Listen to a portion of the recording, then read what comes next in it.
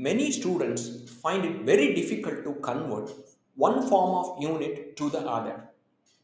As per stats, 30% of students miss grade 9 in GCSE because of unit conversion. In this video, let's have a quick look at how, effect, how effectively we can convert the units. Right. These are the standard units which usually you come across. Mass, length, time, current and the units are kilogram, meter, second, amperes. And the last one is really important, magnetic flux density. How do we measure magnetic flux density? Using the unit Tesla. Right. Usually, how do we convert? If it is a bigger unit to smaller unit, you need to multiply.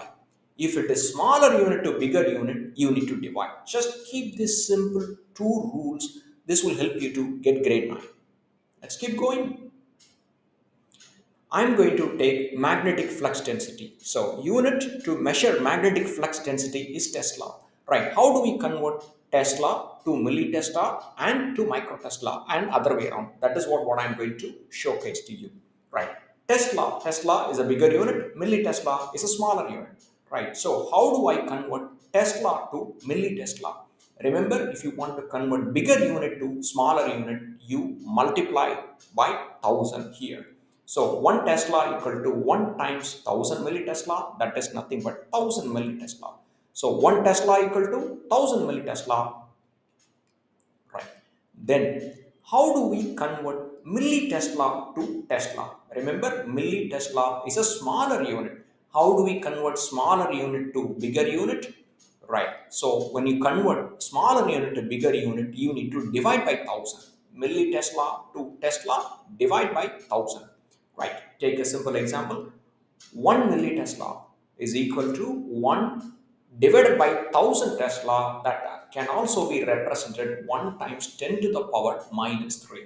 So that's the usual standard way to represent. Now, we, we were able to convert Tesla to millitesla and millitesla to Tesla, other way around. Now, let's do one more step ahead. How do I convert Tesla to micro Tesla? Right, now we are going to jump twice First, we are going to identify Tesla to millitesla, which we have learned, and then we are going to learn how to convert millitesla to micro Tesla. So, twice. First, Tesla to millitesla, which we have already learned. We need to multiply by 1000, and then again millitesla to microtesla. Again, we need to times by 1000. So, that means 1 Tesla is equal to 1000 times another 1000 microtesla. So that's nothing but 1 Tesla equal to 10 to the power 6 microtesla.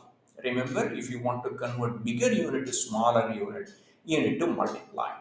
So this is Tesla to micro Tesla.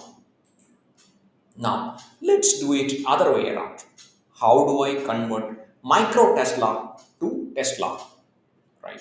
To convert let's try to understand how do I convert micro Tesla to milli Tesla? You need to divide by 1000. And how do I convert milli Tesla to Tesla? Again divide by 1000. Super easy. Right, let's do it. So 1 micro Tesla, if I need to convert 1 micro Tesla to milli Tesla, divide by 1000. And further, I need to convert milli Tesla to Tesla, divide by 1000 so in a nutshell, 1 divided by 1000 times 1000, that's nothing but 1 times 10 to the power minus 6 Tesla. So 1 micro Tesla is equal to 1 times 10 to the power minus 6 Tesla. So in a nutshell, what we have learned, if you want to convert bigger unit to smaller unit, we multiply. If you want to convert smaller unit to bigger unit, you divide. If you are jumping one level, let's say in this case Tesla to millitesla, and then millitesla to microtesla.